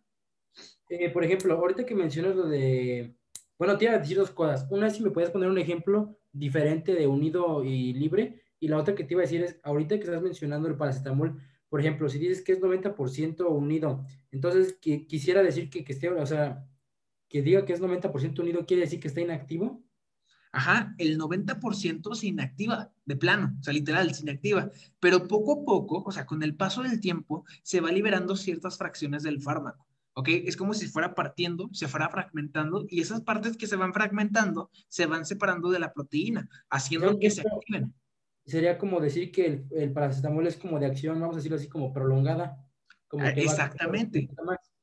Exactamente, es de acción prolongada, ¿ok? A diferencia de otro tipo de fármacos, este, César, que por ejemplo se une directamente a proteínas plasmáticas y se unen un 10% a proteínas plasmáticas, pero todo ese 10% inmediatamente va a ser su mecanismo de acción. Por ejemplo, hay un fármaco, chicos, que se llama nitroprusiato de sodio.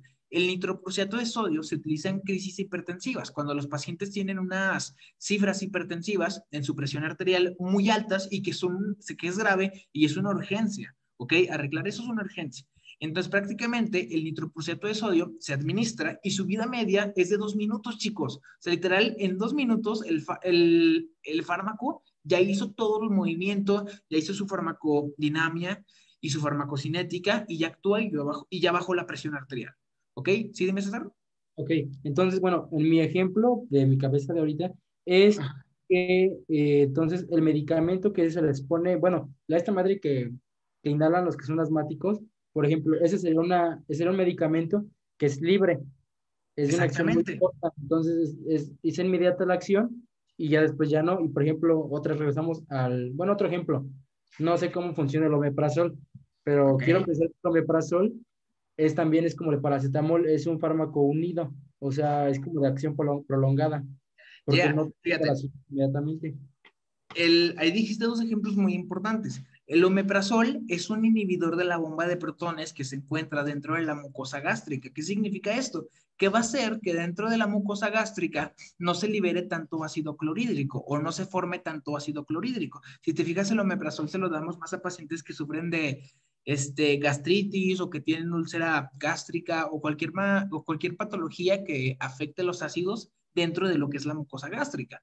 Entonces, si tú le das ese fármaco, eventualmente, y como tú dices, va a durar a cronicidad, ¿ok? O sea, no va a ser que su efecto sea tan, tan rápido ni que tenga un efecto analgésico tan, tan rápido, porque no es así, sino que tarda varios tiempo en unirse, porque tiene que absorberse, tiene que distribuirse, tiene que unirse a proteínas plasmáticas. Ahí tendríamos que ver qué tanto porcentaje se une a proteínas plasmáticas, que obviamente sí es bastante, porque el fármaco no es que actúe de manera, súper rápido, ¿ok? Y te soluciona el problema.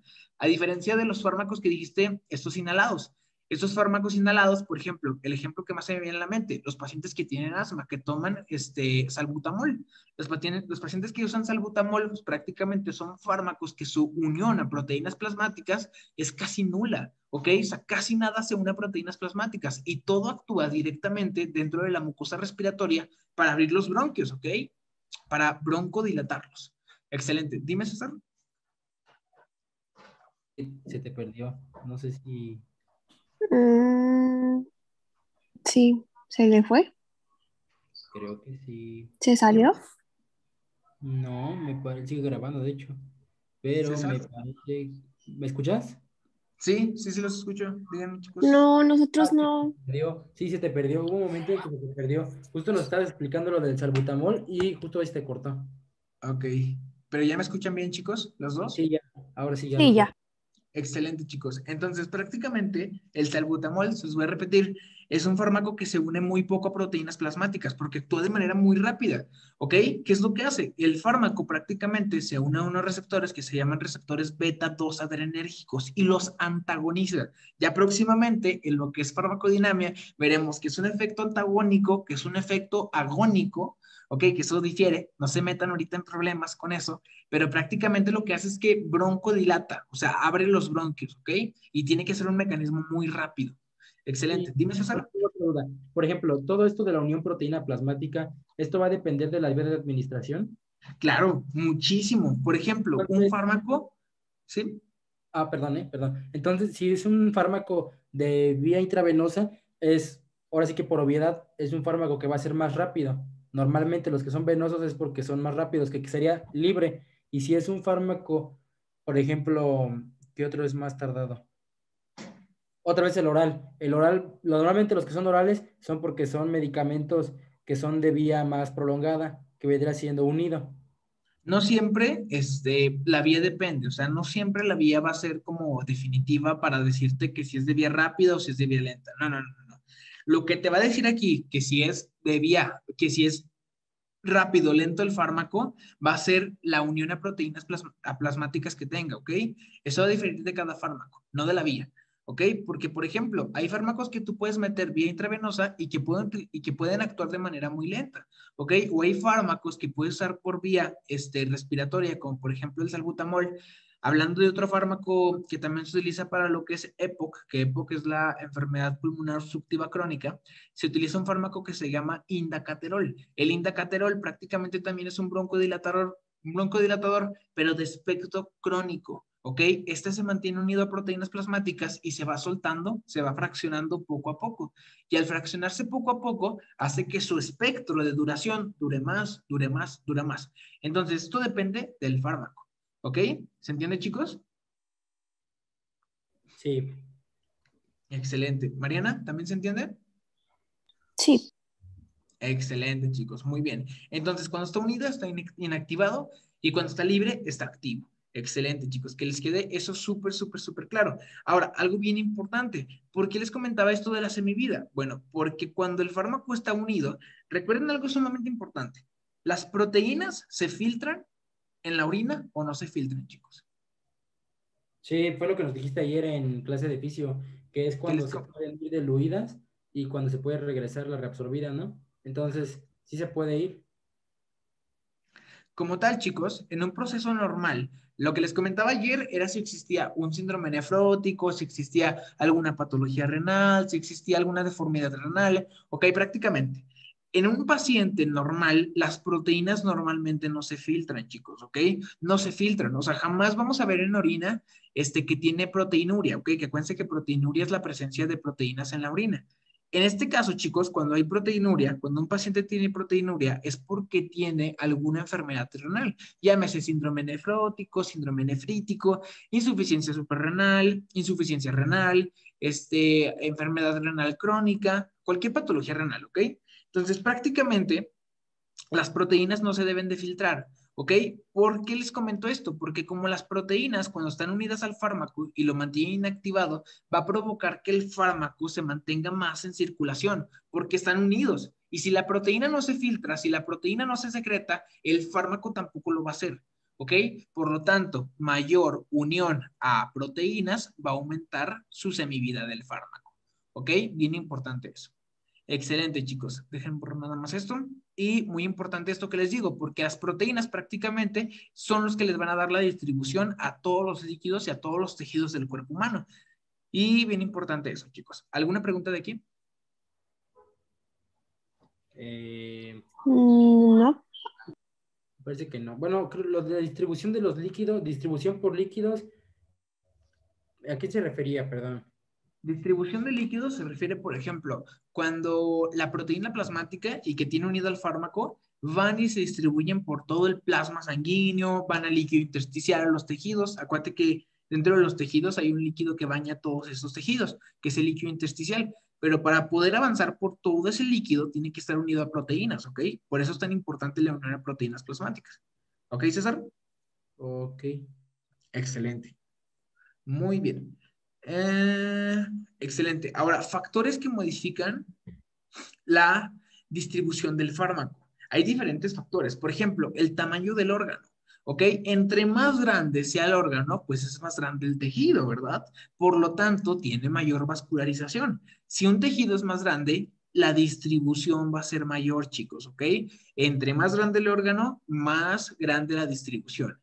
Excelente, chicos. También el flujo sanguíneo del tejido. Entre mayor sea el flujo sanguíneo de ese tejido, mayor va a ser la distribución, porque tenemos más canales donde actuar y donde pueda distribuirse ese fármaco. Excelente. La unión a proteínas plasmáticas, pues prácticamente ya se les expliqué, y cómo, cómo altera, cómo ayuda o cómo afecta este, la, la farmacodinámica del fármaco, ¿ok? Y su farmacocinética, pues obviamente. Excelente. También la solubilidad del fármaco. ¿Por qué? Como estamos hablando de líquidos, como estamos hablando de espacios que prácticamente tienen líquido, pues tenemos que saber que qué tanto se disuelve, qué tanto se combina el fármaco con ese líquido, ¿ok? Si el fármaco puede viajar solo, si el fármaco necesita una proteína plasmática para poder este, distribuirse, si no la ocupa, ¿ok? Esto es sumamente importante. Excelente, chicos. Prácticamente solamente son factores que alteran toda esta farmacocinética, hablando de la distribución, ¿ok? Pero únicamente de la distribución. Excelente, chicos. Ahora, pasamos al siguiente paso. Antes de seguir a este paso, ¿tienen alguna duda, chicos? ¿De distribución? ¿O les quedó claro? Claro. Excelente. ¿Tú, César? No, no tengo hasta ahorita ninguna duda. Excelente, chicos, muy bien. Excelente. Todo esto que les estoy enseñando, chicos, se los, ¿cómo se puede decir? Se los expuso un compañero. Sí, todo. Bueno, creo que te estás adentrando un poquito más tú, pero sí, todo lo expuso un compañero. Ok, excelente. Muy bien, chicos. Entonces, vamos a ver el proceso de biotransformación.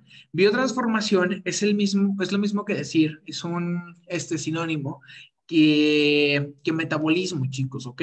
Debemos recordar que el metabolismo tiene dos pasos, chicos. Tiene el paso de catabolización y anabolización. ¿Alguien se acuerda qué son estas cosas? ¿Qué es metabolismo? ¿Qué es este cata catabolización y qué es anabolismo? Mm, o sea, tengo entendido que es, pero creo que estoy bien mal, ¿eh? A ver, a ver, a ver. ¿Qué es, qué es catabolismo creo, y qué es anabolismo? Que... Catabolismo me parece que era cuando un, un ejemplo así, ¿no? Un ejemplo. Era cuando el agua dependía del azúcar y el anabolismo es cuando eh, puede hacerlo solo, de manera sola.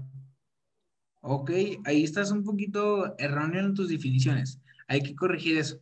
Eh, prácticamente, Mariana, ¿tú te acuerdas qué es? No. Ok, chicos. Siempre acuérdense de esto. Esto ya lo tuvieron que haber visto en bioquímica, chicos, ¿ok? El metabolismo tiene dos pasos, chicos, súper fundamentales. El catabolismo y el anabolismo. El catabolismo, chicos, es la destrucción de moléculas, ¿ok? Es llevar, por ejemplo, un carbohidrato a formarlo de una forma tan, tan simple, o sea, ese polisacárido, hacerlo de una forma muy simple, o sea, hacerlo un monosacárido, como por ejemplo la glucosa, ¿ok? O por ejemplo, llevar una proteína a llevarla a ser aminoácidos, ¿ok? Bien importante eso. Ahora, ¿qué es el anabolismo? El anabolismo es lo contrario al catabolismo. Ahora, pasamos de moléculas simples a moléculas complejas, ¿ok? Vamos a ponerlo aquí para que se les quede más claro. Proteína, acuérdense que la parte más simple de una proteína es un aminoácido, ¿ok? Este proceso lo llamamos catabolismo, catabolismo. ¿Ok? Y cuando pasamos de un aminoácido a una proteína, o sea, de una forma simple a una forma compleja de una proteína, lo vamos a llamar ahora anabolismo. Acuérdense siempre de anabolismo como un proceso de reconstrucción y catabolismo como un proceso de destrucción. Por ejemplo, ¿alguien se acuerda qué es una enzima? ¿Qué es una enzima?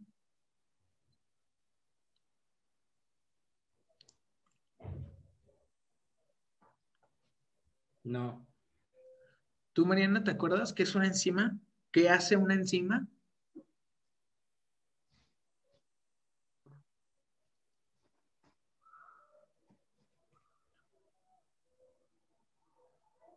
Ok, chicos. Una enzima, chicos, es un catabolizador biológico. ¿Qué significa esto? Que prácticamente va a destruir eh, moléculas complejas a moléculas simples, ¿ok?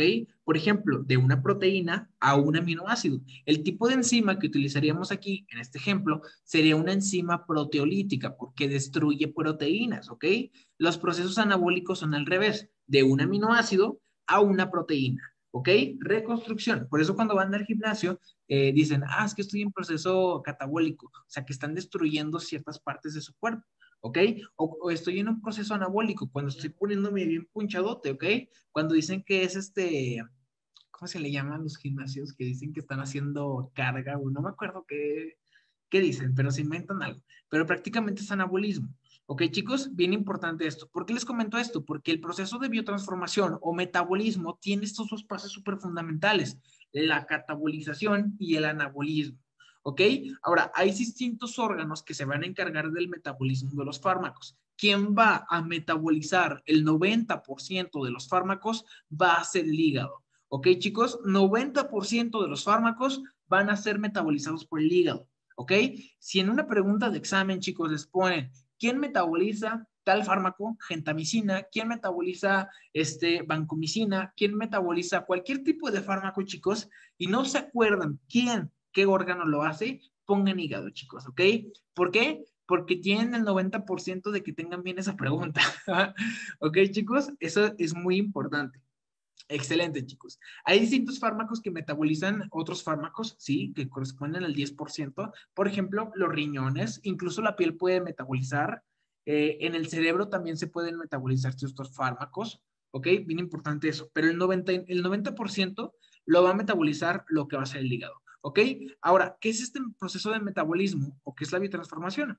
Bueno, este proceso básicamente es la eliminación química o transformación metabólica de los fármacos, ¿ok? Es cuando el fármaco prácticamente se cambia su estructura química para poder ser biotransformado, ¿ok? Para hacer una transformación. Imagínense, es como si hiciera como una siguiente fase. ¿Ok? Bien importante eso. Y todo esto, chicos, todo este proceso de biotransformación y metabolismo está encargado por unas enzimas que se llaman, eh, pues, que se llaman enzimas, ¿ok? Todas estas enzimas prácticamente las vamos a conocer como citocromos, ¿ok? En sus clases de farmacología, chicos, ¿escucharon y vieron algo que se llaman citocromos? El citocromo P45, el citocromo 3A4. ¿Escucharon alguna? Mm, ahorita no. ¿No? Excelente. No. Excelente. Estas enzimas, este, Mariana, que van a metabolizar todo ese tipo de fármacos por procesos enzimáticos, se llaman citocromos, ¿ok?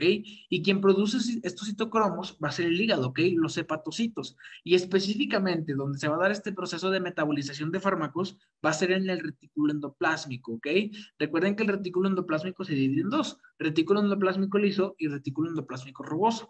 El rugoso va a ayudar a la síntesis de proteínas, mientras que el liso va a ayudar al almacenamiento de lípidos. En lo que me quedé es que, eh, ok, prácticamente en lo que me quedé es que el proceso de biotransformación o de metabolismo se da a cabo por estas enzimas, ¿ok? Que son los citocromos. Los citocromos prácticamente son enzimas producidas por el hígado este, que son bien importantes para la generación del metabolismo celular, ¿ok? Bien, bien importantes. Y de hecho no solo de los fármacos, sino que también de otras moléculas. Ahora, eh, este proceso de metabolización puede llevar por dos procesos, ¿ok? El proceso de activación y el proceso de inactivación. O sea, durante que se da este metabolismo, puede generar un producto activo o generar un producto inactivo. ¿Ok? Eso es bien, bien importante. El proceso de activación, este, y cuando se activa el fármaco, lo vamos a llamar profármaco. ¿Qué significa esto? Llega el fármaco a través de la circulación portal o se hace cualquier circulación y el fármaco estaba inactivado, pero una vez que fue transformado por el hígado, una vez que fue metabolizado, se activa. ¿ok? Y a estos es a lo que conocemos como profármacos, ¿ok? Profármacos. Excelente. Y la inactivación es prácticamente cuando el fármaco ya llegaba activo, pero se inactivó con las enzimas que tenía el, el hígado, ¿ok? Bien, bien importante esto. Excelente. A este efecto, en algunas vías de administración, lo conocemos como efecto de primer paso. ¿Por qué? Porque prácticamente por aquí van a pasar los fármacos que van a ser este, absorbidos por la mucosa intestinal y van a llevar a cabo este proceso de biotransformación. ¿Ok? Por ejemplo, los fármacos que se consumen vía oral, fármacos que se consumen vía oral, llevan a cabo este proceso. Tú sabes que por vía oral, pues pasa por todo lo que es la faringe, pasa por lo que es el esófago, pasa por lo que es este, la mucosa gastrointestinal, pasa lo que es el intestino, y una vez en el intestino, pues se absorben, ¿verdad? Pero al momento de absorberse, se absorbe por las venas gastrointestinales. Y recuerda que todas estas venas gastrointestinales, a final de cuentas, van a llevar a este gran vaso que se llama este, el vasoporta, ¿ok? O la circulación venosa porta. Entonces, prácticamente, esta circulación venosa porta va a llevar y va a drenar a todo lo que va a ser el hígado, ¿ok? Entonces, prácticamente, ¿cuál es, cuál es la vía que tiene efecto de primer paso? Bueno, la vía que tiene efecto de primer paso de manera inmediata es la vía oral. ¿ok? La vía oral. ¿Y esto puede ser un impedimento? Sí, sí puede ser un impedimento. ¿Por qué? La mayoría de fármacos que tú le vas a tener que dar a los pacientes por vía oral tienen que ser profármacos, o sea, tienen que ser fármacos que se activen con la biotransformación, ¿ok? Si son fármacos que se, inactivan por la, por la biotransformación, pues no tiene chiste, ¿verdad? Porque nada más le vas a dar el fármaco, se va a inactivar y pues hasta ahí. Pero si el fármaco se activa, pues obviamente que sí va a poder llevar a cabo otro proceso. ¿Ok? Entonces, efecto de primer paso, cuando el fármaco llega inmediatamente a lo que es el hígado a través de la circulación portal que viene de las paredes intestinales. ¿Ok? Bien importante eso. Excelente. Déjenme borrar todo esto. César, ¿me escuchas por ahí? Sí, sí, sí. Ya regresé. Excelente. Muy bien. Ok, ahora, prácticamente el metabolismo constituye, se constituye de dos fases, ¿ok? Se constituye una fase primaria y una fase secundaria. En estas dos fases vamos a tener dos tipos de reacciones. Las primeras van a ser reacciones no sintéticas. ¿Qué significa esto? Que van a ser reacciones que involucren a enzimas, ¿ok? Principalmente. Por ejemplo, la enzima más importante, hablando de la fase 1, es esta que encontramos aquí, que es el, el citocromo este 450. ¿Por qué es tan importante? Bueno, porque este citocromo va a metabolizar el 50% de todos los fármacos. E incluso hay otro citocromo que también es súper importante, que es el citocromo 3A4. El 3A4 también metaboliza gran cantidad de fármacos, ¿ok? Gran, gran cantidad de fármacos. Prácticamente son enzimas que se encargan del metabolismo de estas de estos fármacos, ¿ok? Y estos procesos de enzimáticos se pueden dar por estos que vemos aquí abajo, por ejemplo, oxidación, por reducción o por hidrólisis, ¿ok? ¿Sí dime, César?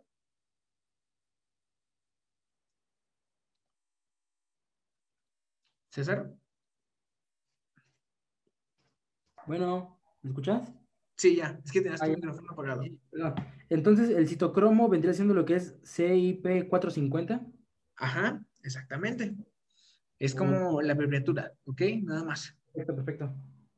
Acuérdate, dos tipos de citocromos importantes. Citocromo 450 y citocromo 3A4.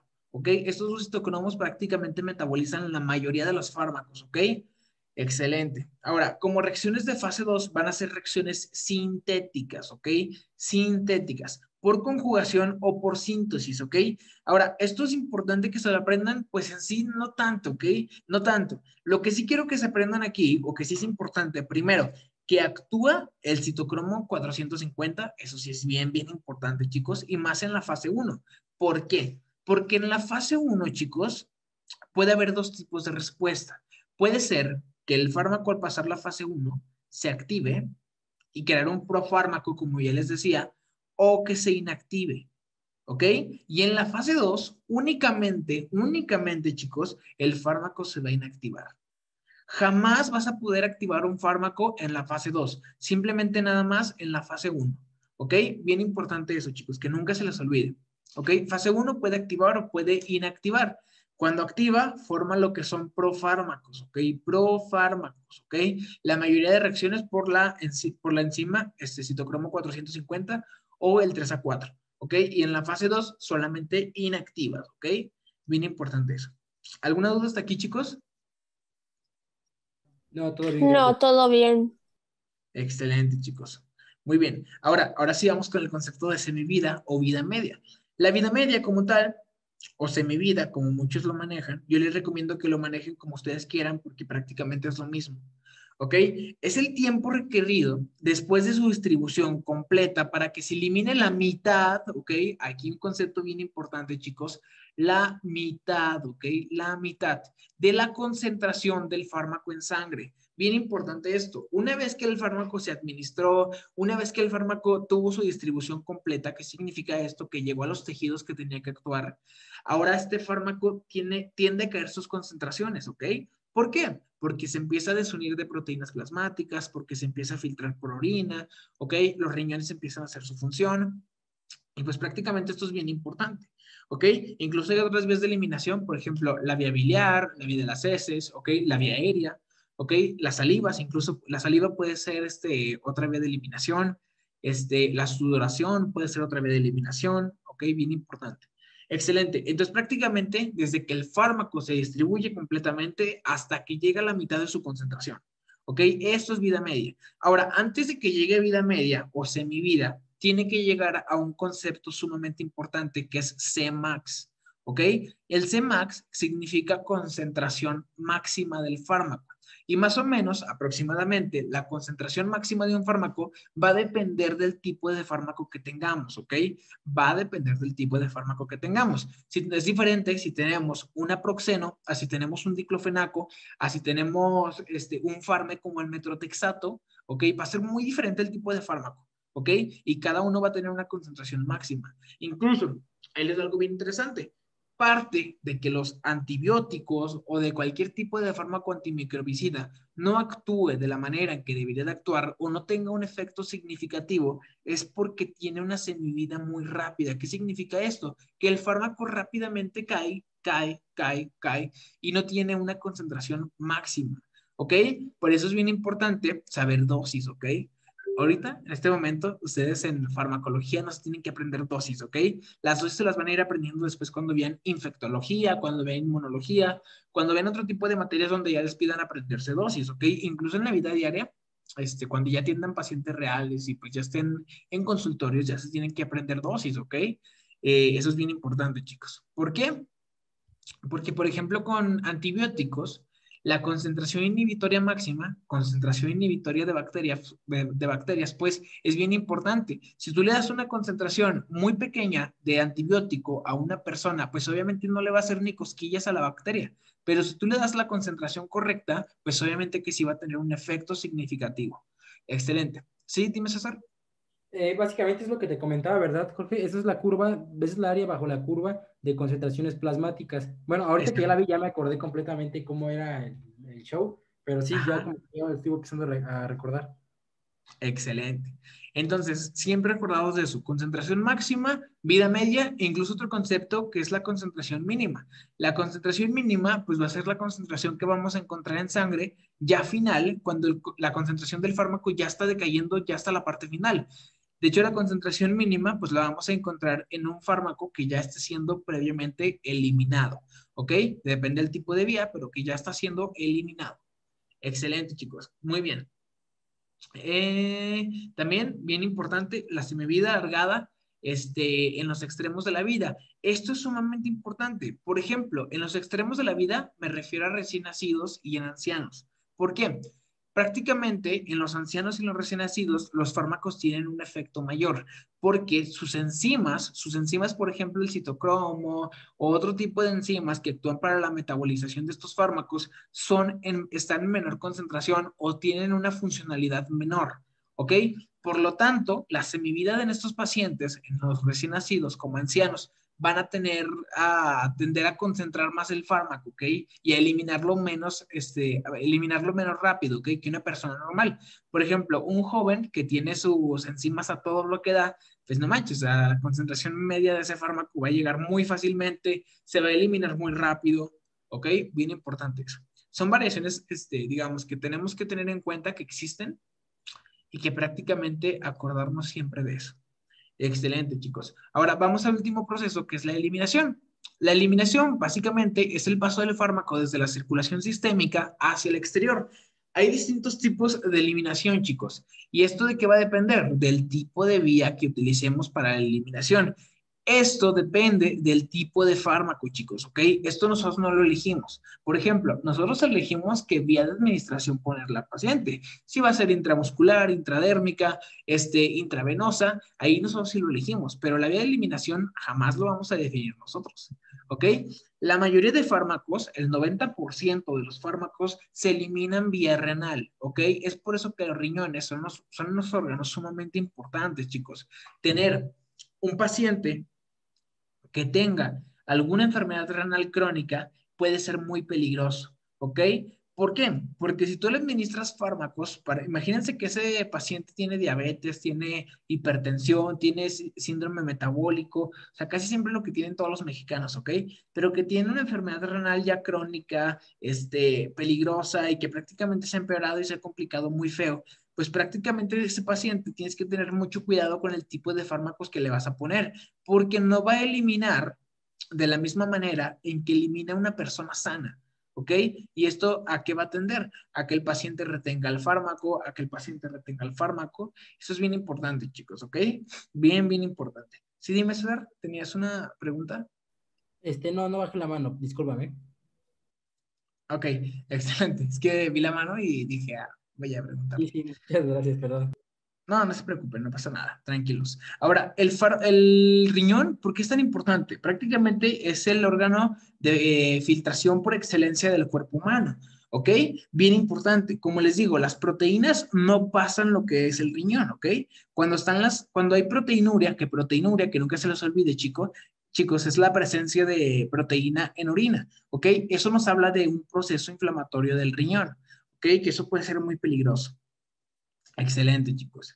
Por ejemplo, en nefropatía diabética puede existir todo este tipo de, manifestaciones clínicas, ¿ok? Cuando el paciente tiene proteinuria o así. Hay estados, por ejemplo, como el estado de preeclampsia en el embarazo, que también puede tener proteinuria. Eso ya lo van a ver después, chicos.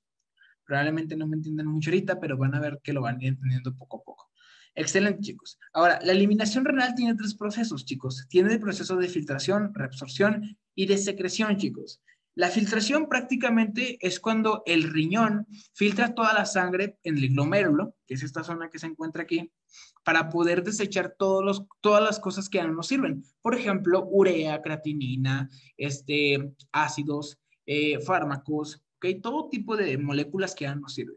La reabsorción, chicos, es cuando el, es, algunas concentraciones de solutos, por ejemplo, llamémoslo eh, sodio, potasio, cloro, magnesio, se reabsorben, ¿ok?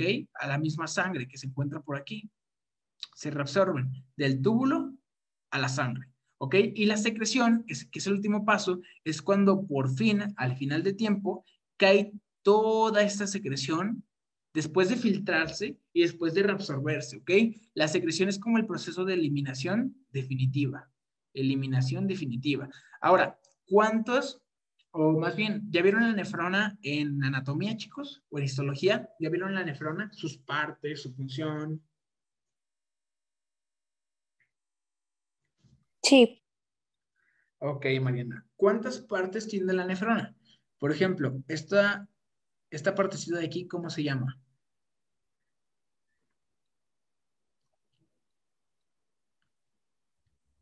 Ay, no vi cuál. Este de aquí. Que estoy poniendo las flechitas. Ah, pues ahí dice, ¿no? El glomérulo. El glomérulo, exactamente. ¿Qué es el glomérulo, Mariana? ¿Qué es esa estructura? o por quién está formado o cuál es su función principal.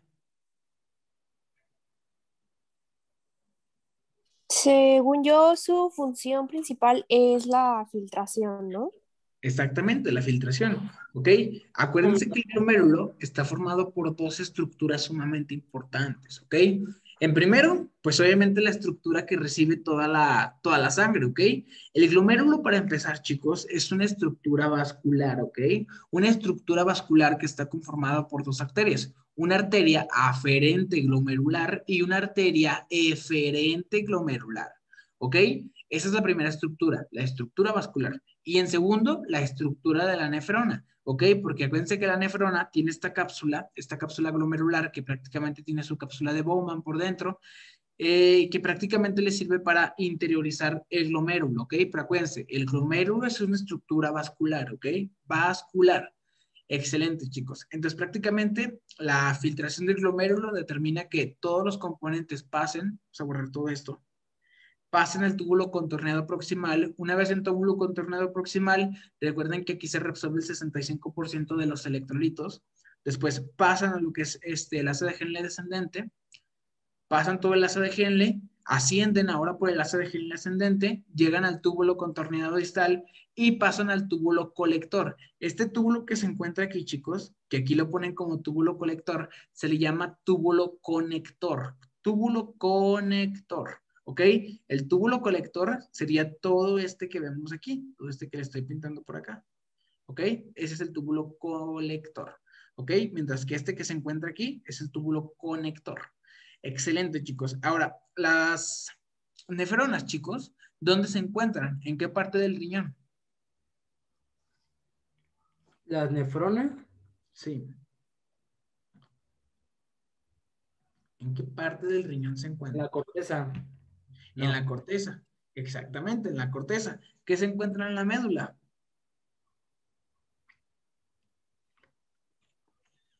En la médula. No sé. Miren, ven esta imagen de este lado. Fíjense cómo toda la parte externa, toda esta partecita que vemos por aquí, se le llama corteza renal, ¿ok?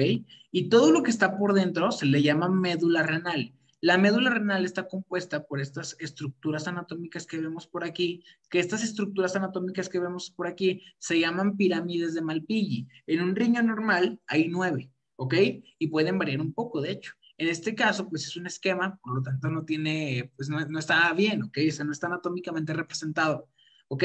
Tiene, también, también hay unos cálices que se llaman cálices mayores, cálices menores, este, lo que es este, la pelvis renal, que es toda esta parte de aquí, este, el, un ligamento que se encuentra abajo de la pelvis renal que se llama el ligamento de Navarro, que eso seguramente ya lo tuvieron que haber visto en anatomía, que también es importante.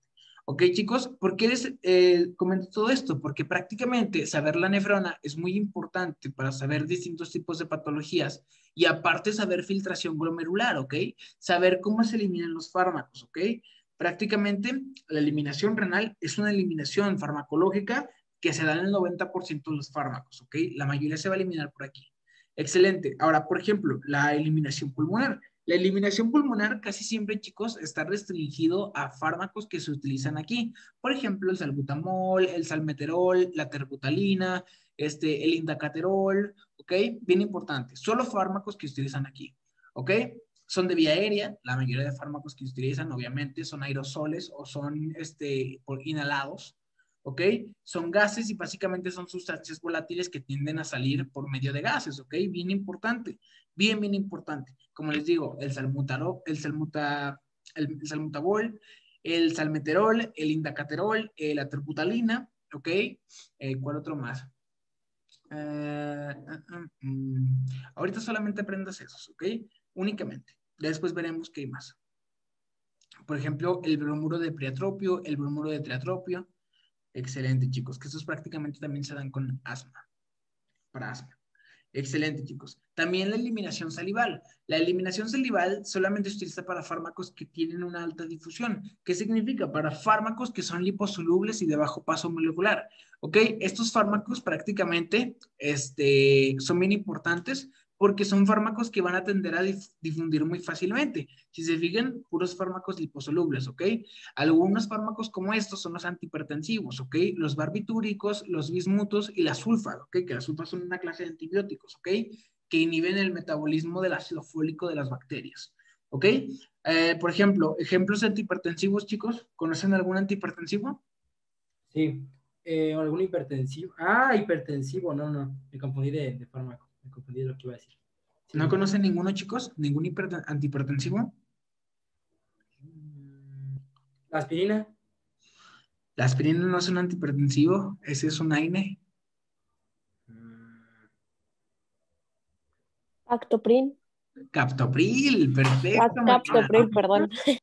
Captopril, ok, Captopril, perfecto, Mariana. ¿Sabes cuál es el mecanismo de acción del Captopril, Mariana? No. Excelente, después lo vamos a ver, pero el captopril es un inhibidor de la enzima IECA, ¿ok? Que es la enzima convertidora de angiotensina. Seguramente en sus clases de fisiología y en sus clases de eh, bioquímica ya vieron sistema renina angiotensina aldosterona. ¿Ya lo vieron, chicos? Sí. Ok, ¿y cuál es la finalidad del sistema renina angiotensina aldosterona?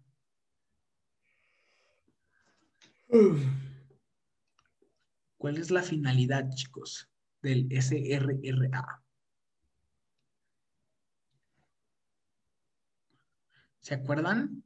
¿A qué? O sea, todos esos pasos que se, que se convierte la angiotensina, el angiotensinógeno, qué pasa a ser angiotensina 2, que tiene que ir a la enzima, ¿a qué lleva al final de cuentas a qué, chicos? ¿Cuál es el resultado final? Según yo era la, eh, bueno, no sé si estoy bien, si que aumentaba la presión sanguínea, ¿no?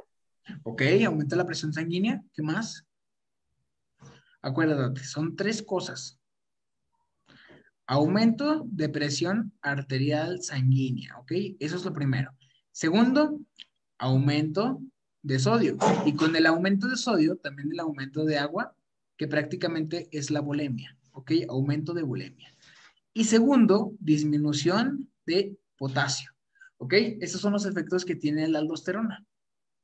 Excelente, chicos, perfecto. Entonces, prácticamente eso es todo lo que lleva. Si nosotros inhibimos el sistema renina angiotensina aldosterona, pues no se puede hacer nada de esto, chicos. Nada de esto se puede hacer. Por lo tanto, la presión se va a mantener baja. ¿Ok? Esto ya lo vamos a ver después y créanme, cuando lo entiendan, van a decir, oh, qué padre, qué... No, sí, sí, es como ¿cómo les puedo decir? Está bien padre entender las cosas, créanme. Y la fisiología, saber, por eso en fisiología es muy importante saber esto, chicos, ¿ok? Bien importante. ¿Alguien se acuerda cuál es el desencadenante de la renina? O sea, ¿por qué se activa la renina?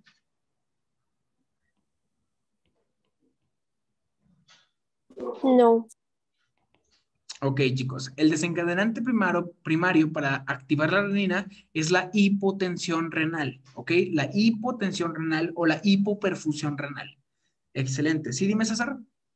Es que, bueno, la verdad no te alcanza a seguir como el paso cuando dictas. Entonces, por ejemplo, en la aldosterona, la PA, ¿qué era? La presión arterial, ¿ok? También la vas a encontrar en los libros de texto como la TA, ¿ok? Es lo mismo. Y prácticamente, chicos, estos fármacos dejan sabor metálico, ¿ok?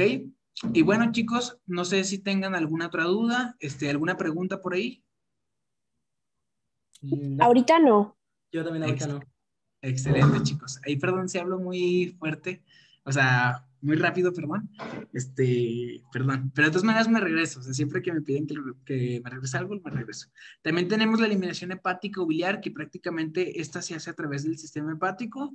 Y pues bueno, chicos, esto se hace a través del transporte activo y hay algunos este, fármacos especiales a través de estos. Por ejemplo, las, las penicilinas, las tetraciclinas y la rifampicina, que prácticamente estos tres chicos solamente aprendanse hasta ahorita que son antibióticos, nada más.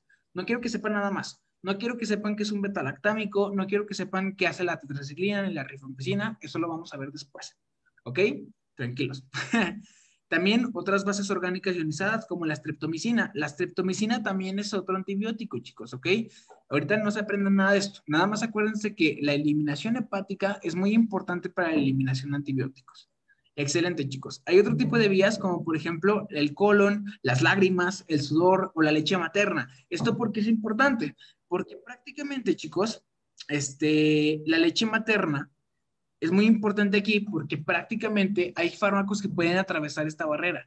¿Y esto qué nos puede llevar? A que ese fármaco le haga daño al bebé, ¿ok? Que el fármaco tenga efecto en el bebé y pues obviamente esto le puede causar daño al bebé. Por eso siempre es importante buscar si el fármaco se puede dar en la lactancia. ¿Ok? Si el fármaco no se puede dar en la lactancia, pues obviamente no lo vamos a dar. Si el fármaco nos permite darle a la mamá ese fármaco, ¿ok? Sí lo vamos a dar, ¿ok? Pero siempre hay que buscar. Excelente, chicos. Y pues bueno, chicos, esto sería todo por el día de hoy. Es todo por lo de farmacocinética. Este, no sé si tengan alguna pregunta, alguna duda.